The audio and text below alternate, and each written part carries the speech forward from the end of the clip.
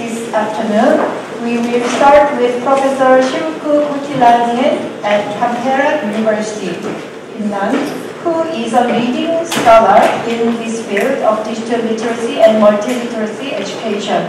She will give an excellent insight for media literacy education, which needs to go beyond the text-based approach in order to integrate computational thinking in the algorithm-driven social media environment. Please welcome Professor Sirkku Kotilainen with big applause. Thank, thank you. I will be really, I am really honored to give a, a speech uh, in this uh, very uh, important conference. I learned that this uh, may be the first one uh, in this faculty, uh, but this uh, is really a topic of importance all over the world currently, uh, related to, for example, fake news, hate speech, and or bullying online. So yes, I start with showing you where I come. I, think uh, most of you know Europe, but where I come together uh, with journalist Wonsock Choi uh, is that Finland up there. And if you go be, uh, more north than Finland, there will be the North Pole. So, uh, but I must say that the weather when I left was even warmer than you have here now.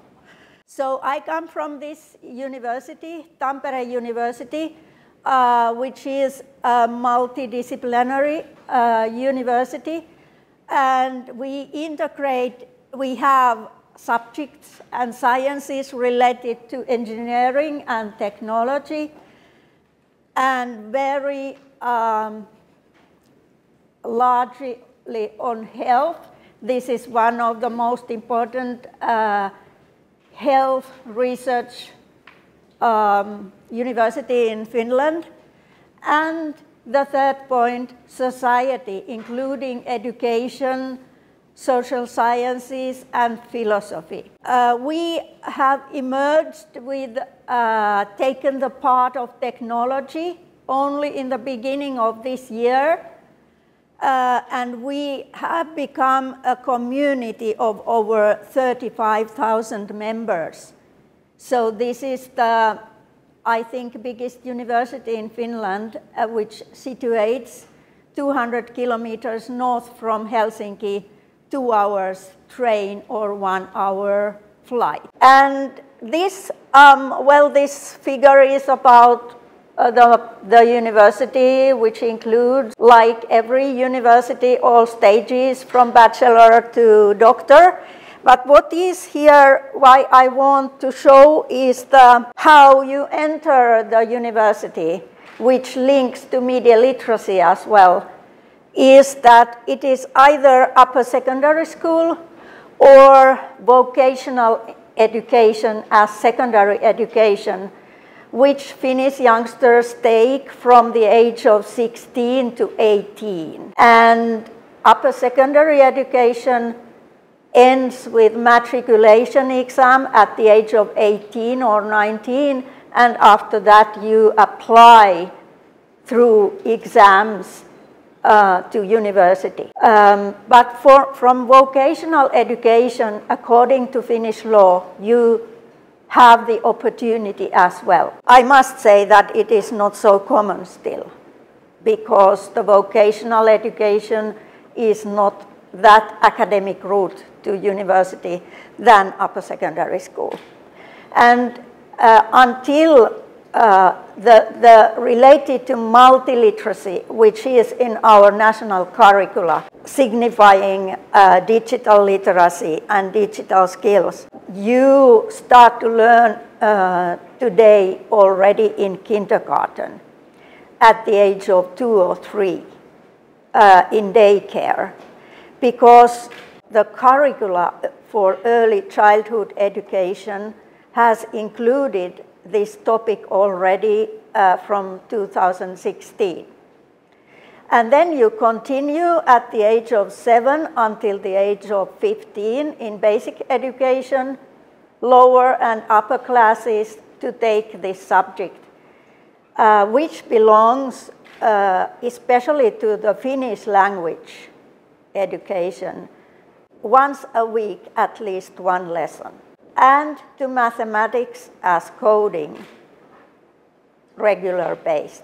So if we think about uh, media literacy and its history, it has been promoted in Finland already 60 years, six zero.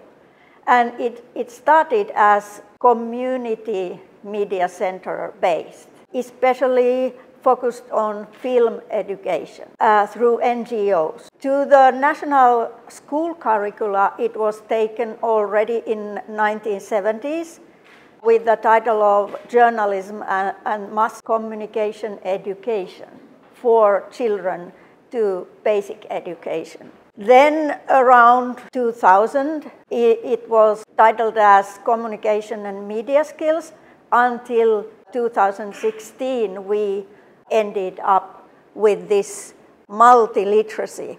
And um, as well, we in the curricula, we name ICT as information and communication technology, uh, even separate of the coding in, in mathematics. So digital skills, digital citizenship is promoted in our curricula in three places three subject areas. But the multiliteracy is understood in the curriculum mostly text-based. It refers to skills, how to interpret, produce, and criticize various texts. Not so much the production-oriented. I mean, teachers can decide in Finland how they pedagogically implement this. And I know that there, is, there are many production-oriented uh, frameworks used. Uh, but still it is about text, online or printed. But this algorithm-based social media is challenging this text-based approach uh, only because mobile applications, especially mobile, is the one youth uses currently.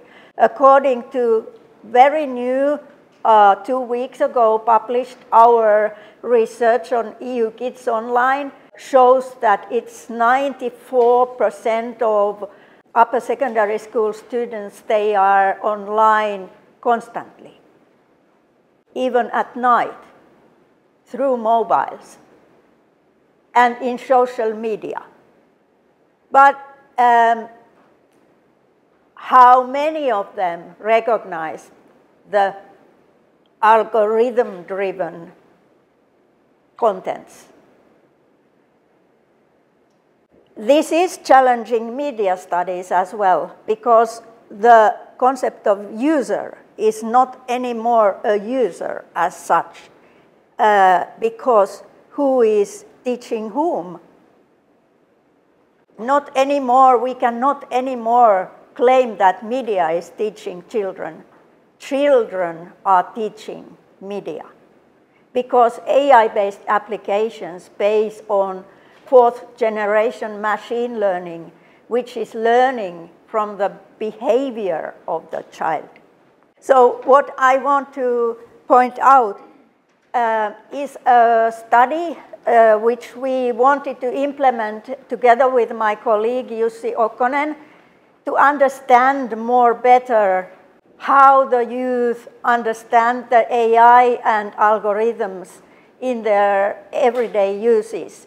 So we um, interviewed families, parents and children.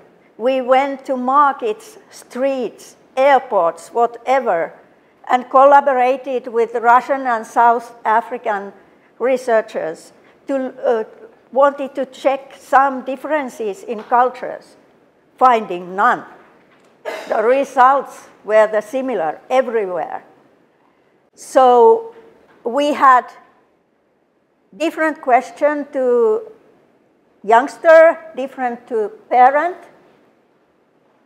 How, what are they, how the youngsters are acting, how they are considering the artificial intelligence, and parent, what do you think about that?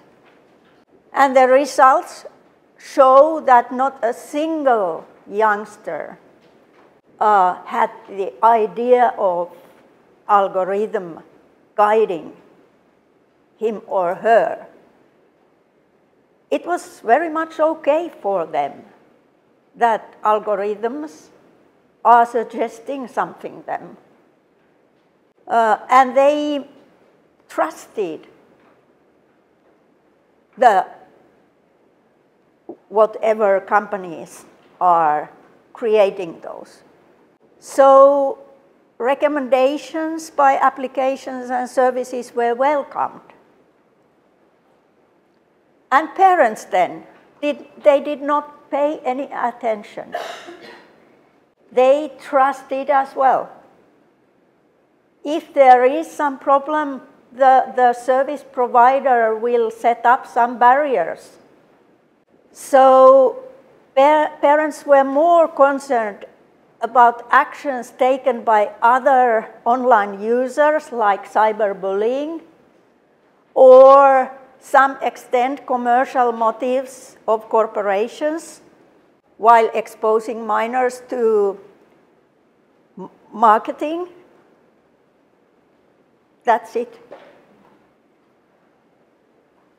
So what we think, even though the sample was really small, like a pilot study, which we would like to ex extend uh, as that more statistical one, and currently we are looking for fundings to make that kind of basic study, and together with experiments of teaching somehow.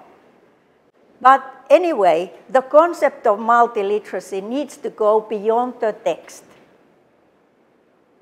To, to understand the technology as well behind algorithms. How are algo algorithms produced? And the other point, beyond the text, to education. Multiliteracy as a concept um, defined uh, based on the critical school uh, at UK means education as well.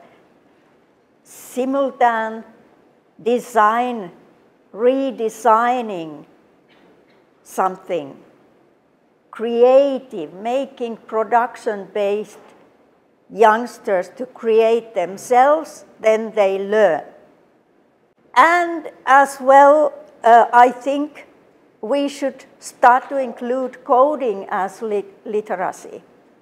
So I mean that coding shouldn't be separate subject, but uh, societal and educational researchers should find coding software researchers and the other way around.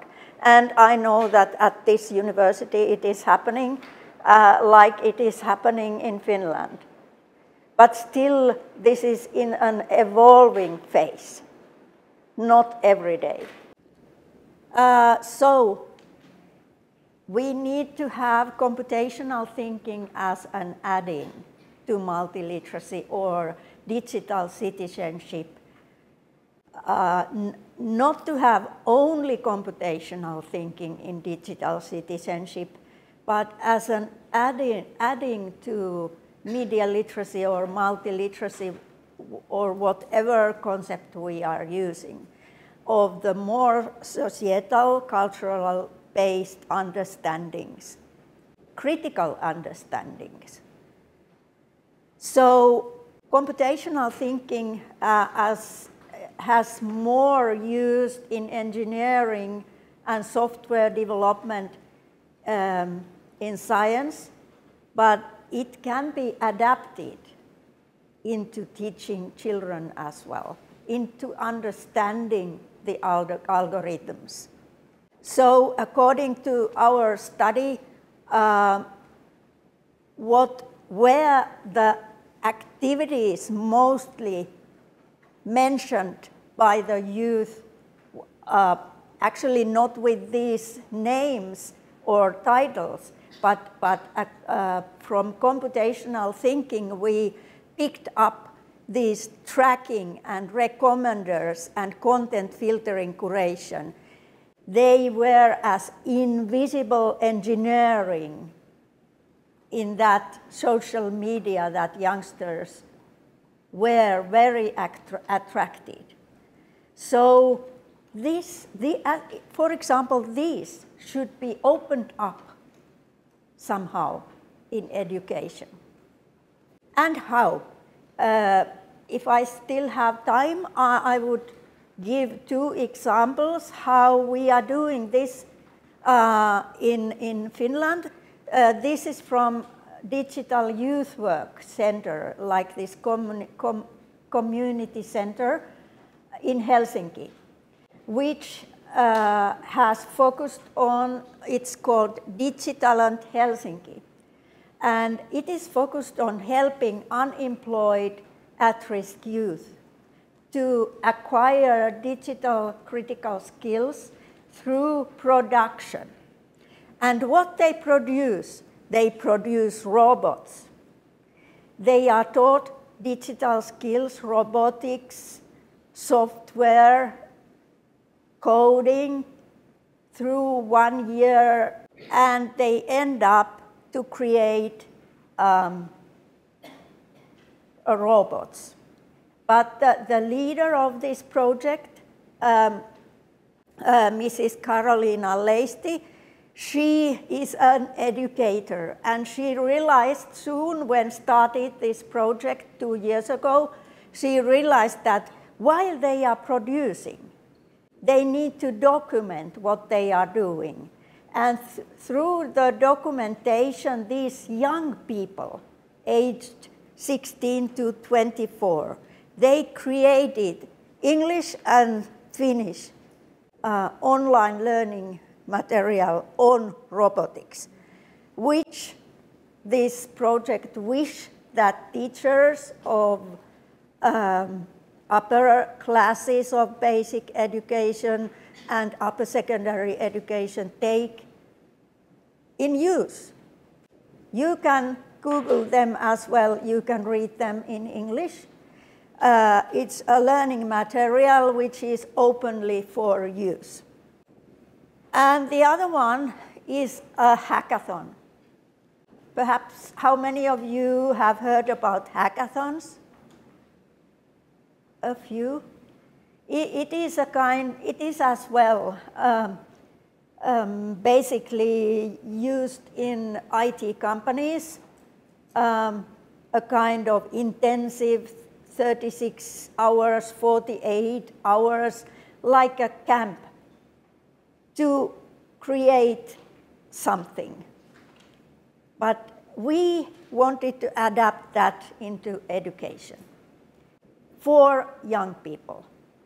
And uh, now we have uh, implemented three times in, at, in our curricula together with my international master students so that they organize the event and then we invite secondary high school students to enter to to the university for this intensive workshop together with master students in coding, master students in media, master students in education.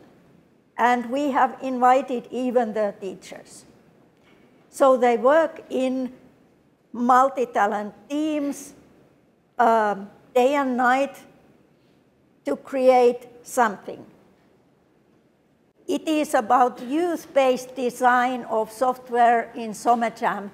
They create solutions, coded solutions like apps or something, which will help young people some way.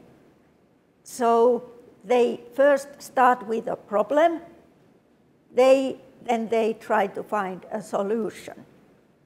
so last year we ended up to collect data and evaluate what the participants uh, get from this. And most of all was the critical awareness towards artificial intelligence and algorithm-based software because they were using, they were planning to their apps those activities. And they got self-confidence because um, hackathon means that they need to present several times to mentors what they are developing and give a final presentation. They got self-confidence to present. And because the whole thing was in English, it was that our exchange students, international ones, they entered and the, the sec upper secondary students were natives.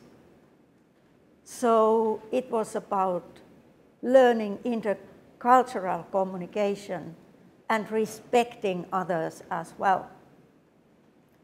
So I am concluding with this um, that um, algorithm-based social media is about it can be uh, good things or bad things like disinformation, bullying, whatever, and investing in digital skills, digital citizenship, is about understanding critically, for example, fake news, and how, um, for example, this SomeJam shows out that the most effective way is to put youngsters to produce themselves something, even fake news.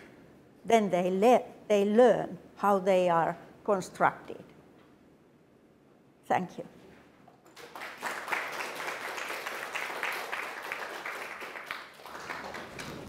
Hey, um, thank you for your very insightful um, talk. And uh, I'd like to invite um, Dr. Amie Kim uh, to, it is a very difficult work, I would imagine, uh, but I would ask you to summarize uh, and, and, and add some values for discussion of, uh, for five minutes in Korean. Thank you. 5분 동안 그 시드코 교수님께서 말씀해 주신 내용 좀 말씀드리고요. 그러니까 슬라이드에 되게 내용이 많이 있었지만 중요하게 말씀해 주셨던 내용들 몇 가지를 꼽아보고 싶습니다. 일단은 알고리즘 지금 우리가 쓰고 있는 소셜 미디어 환경이 알고리즘 기반으로 돌아가고 있을 때 리터러시, 멀티 리터러시라는 것은 무엇을 의미하고 교육은 어떻게 어떤 방향으로 가야 하는가에 대해서 주로 말씀을 해주셨는데요. 처음에 슬라이드에서 보신 것처럼 땀페레 대학에 대한 소개를 해주셨습니다. 땀페레 대학은 융합 프로그램이 아주 잘 되어 있는 대학으로 멀티 리터러시의 지원이 잘 될 수 있는 그런 환경을 가지고 있다고 볼 수가 있습니다. 일단은 엔지니어링 분야와 보건학과 인문사회과학이 함께 존재하고 있어서 그 안에 통합과 융합이 많이 되고 있고 그것을 기반으로 지금 사회 환경에 맞는 멀티리터러시 교육 지원이 가능한 대학의 시스템을 갖추고 있다라고 말씀을 해주셨고요. 그 다음에는 핀란드의 미디어 교육 역사에 대해서 말씀을 해주셨는데 1958년에 미디어 리터러시 교육이 시작되었고 우리나라와 유사하게 시민단체 기반 활동으로 시작이 되었다라고 말씀을 해주셨습니다. 그러다가 1970년대에 학교 교육의 저널리즘과 대중문화 교육이라는 틀로 들어왔고 2000년대 커뮤니케이션 앤 미디어 스킬즈라는 이름으로 들어왔다가 어, 여기 계신 많은 분들이 알고 계신 것처럼 2016년에 국정 그, 그 교육 과정 안에 멀티 리터러시라는 이름으로 미디어 리터러시가 포함이 되게 되었습니다. 멀티 리터러시가 국정교육 과정에 들어가면서 두살에서세 살 사이의 유아교육 과정부터 멀티리터러스 교육이 시작되었고요. 7세에서 15세 베이직 에듀케이션에서는 이제 모국어 교육 안에서 최소한 일주일에 1시간씩 실행을 하게 되었고 수학 코딩 교육 안에서도 실행을 하는 식으로 활발하게 진행이 되고 있다라고 말씀해 주셨습니다. 그래서 우리가 지금 이 컨퍼런스에서 얘기, 아, 세미나에서 얘기하고 있는 디지털 시민성이 포함되는 여러 영역이 생기게 됐는데 멀티 리터러시 그리고 ICT 스킬스 그다음에 코딩 이렇게 세 분야에서 적극적으로 디지털 시민성 지원이 일어나고 있다라고 이야기를 해주셨고요. 어, 여러분들께서 아시다시피 핀란드는 교사 자율성이 되게 강한 나라여서 어떤 식으로 페다고지를 진행을 할지는 그 교사 역량에 많이 달려 있지만 대개는 텍스트 베이스로 이루어지고 있는 약간 약점이 있다라고 지적을 해주셨어요. 그래서 지금 우리가 살고 있는 환경은 알고리즘 기반의 미디어 환경이기 때문에 텍스트 기반으로만 가서는 그 접근이 좀 어렵다라는 말씀을 해주셨습니다. 2주 전에 EU 키즈 온라인 보고서가 새로 나왔는데요. 여기서도 94%의 고등학생들이 거의 계속적으로 온라인에 접하고 있고 모바일을 통해서 접한다라고 이야기가 나온 것처럼 이 알고리즘을 통해서 돌아가고 있는 미디어 환경의 아이들이 아주 많이 노출되어 있다고 볼 수가 있는데 그에 반해서 알고리즘에 대한 이해는 매우 낮다라는 얘기를 해주셨고요. 우리가 미디어 교육에서 이야기하는 사용자라는 개념이 더 이상 완벽하게 유효하지 않아서 예전에는 미디어를 통해서 우리가 배우거나 미디어에서 컨텐츠를 받았다면 이제는 우리가 만들어낸 우리가 미디어를 가르쳐주는 그러니까 기계학습 머신러닝을 통해서 학습자 사용자가 미디어를 가르치는 그런 모습들이 이루어지고 있는 환경으로 바뀌었다라고 말씀을 하셨습니다. 그러면서 이제 2019년에 오코넨 박사님하고 같이 수행한 연구에 대해서 소개를 해주셨는데요. 지금은 이제 파일럿 수준이라고 말씀을 해주셨지만 일단 문화 비교를 위해서 러시아하고 핀란드하고 남아공의 어린이와 부모 페어를 인터뷰를 해서 인공지능이나 알고리즘에 대해서 무엇을 알고 있는지 그리고 어떻게 생각하는지에 대해서 조사를 해봤다라고 이야기를 하셨습니다. 되게 놀랍게도 어린이들은 그 알고리즘이나 AI에 대해서 전혀 인식을 하지 않았고 알고리즘을 통해서 자기가 어떤 컨텐츠를 추천받는 것에 대해서 오히려 긍정적으로 이야기를 하고 그 다음에 컨텐츠를 제공해주는 플랫폼에 대해서 신뢰를 가지고 있는 그런 모습을 볼 수 있었고요. 부모 역시 그것에 대한 관심이 없었고 또 회사에 대한 신뢰도가 있었고 그거에 반해서 오히려 그 안에서 활동하는 사람에 대한 두려움, 사이버 불링이나 어떤 정보를 빼가지 않을까 하는 두려움이 있었다라는 것을 말씀해 주셨습니다. 그래서 오히려 멀티 리터러시를 이야기할 때 우리가 지금까지 텍스 다양한 텍스트나 다양한 모드를 이야기했다면 그거를 그 텍스트 뒤에 있는 텍스트를 만들어내는 메커니즘까지 같이 이해를 하는 식으로 멀티 리터러시를 확장해야 된다라는 것을 강조를 해주셨고요. 그 다음에 시간이 얼마나 남았는지 모르겠는데 멀티리터러시가 그렇게 확장되는 한편 멀티리터러시의 페다고지는 프로덕션 기반으로 가는 것이 되게 중요하다라고 이야기해 주셨고 디자인이나 메이킹 같은 그 측면이 되게 중요하다. 그렇기 때문에 코딩을 포함해서 이제 컴퓨테이셔널 띵킹 같은 것이 여기 들어와서 같이 만들면서 무언가를 이해할 수 있는 방향으로 멀티리터러시 교육이 갈 필요가 있다라고 이야기를 해 주셨습니다. 그래서 그 디지털 시민성이라는 것이 결국은 멀티 리터러시와 컴퓨테이셔널 띵킹이 같이 연결이 되어서 어, 디지털 시민성을 지원을 하고 비판적인 사고를 지원해 줄 수 있도록 방향성을 잡아야 된다라는 강조를 좀 해주셨고요. 그 다음에 아, 그 교육 사례를 두 개를 소개해 주셨는데 하나는 소셜 로보틱에 대한 교육이었고 두 번째는 해커톤에 대한 교육이었습니다. 그 소셜 로보틱에 대한 그 교육은 슬라이드에서 보실 수 내용을 보실 수 있는데 교수님께서 말씀해 주신 부분 중에 되게 인상적이었던 부분은 그 아이들이 소셜 로봇을 만드는 교육을 하는 것인데 만드는 과정의 기록이 되게 중요하다라는 얘기를 해주셨고요. 그 기록을 담당하는 것이 16세에서 24세 사이의 청년들이라고 이야기를 해줬습니다. 그래서 그 청년들이 기록하는 바가 중등 교육의 교육 과정 안으로 활용될 수 있도록 연계 체계를 만드는 것에 대해서 이야기를 해주셨고 이 내용들은 지금 있는 회사를 구글 하시면은 구글 검색 결과 많이 나온다고 볼 수 있다라고 이야기를 해주셨습니다. 두 번째 사례는 해커톤 얘기를 해주셨는데요. 해커톤을 통해서도 아이들이 어 이제 어떤 문제를 발굴하고 그 문제를 해결하기 위해서 코딩 등을 통해서 앱을 개발하는 그런 방식으로 해커톤이 진행이 됐는데 이 교육의 결과들을 얘기를 해주셨거든요. 그래서 교육의 결과를 보았더니 아, 학습자들의 그 AI에 대한 이해나 비판적인 인식이 증가했고 발표 같은 것을 통해서 자신감이 증가가 되었고 그 다음에 이제 교환 학생들이 참여하는 교육이었기 때문에 상호문화적인 이해 능력까지 좀 증진이 되었다라는 이야기를 해주셨습니다. 그래서 결론적으로 우리가 지금 살고 있는 이 시대가 알고리즘 기반의 소셜미디어가 환경이 매우 강한 어, 시대라고 볼 수가 있는데 어, 사실은 우리가 디지털 시민성을 지원을 함으로써 우리가 접하고 있는 여러 가지 미디어 관련 뭐 가짜 뉴스 같은 현상들을 비판적으로 이해할 수 있는 것이 가장 중요하고 그 방법을 위해서는 네, 그 제작 교육 등을 통해서 직접 제작해 보면서 그 메커니즘을 이해해서 왜 이런 것들이 만들어지는지 실제로 가짜 뉴스를 만들어 보는 것도 가능하다고 얘기를 해주셨어요. 그래서 이런 것들이 어떤 메커니즘으로 어떻게 퍼지는지를 경험해 보는 것이 중요하다라는 이야기를 해주셨습니다. 이렇게 요약을 마치겠습니다.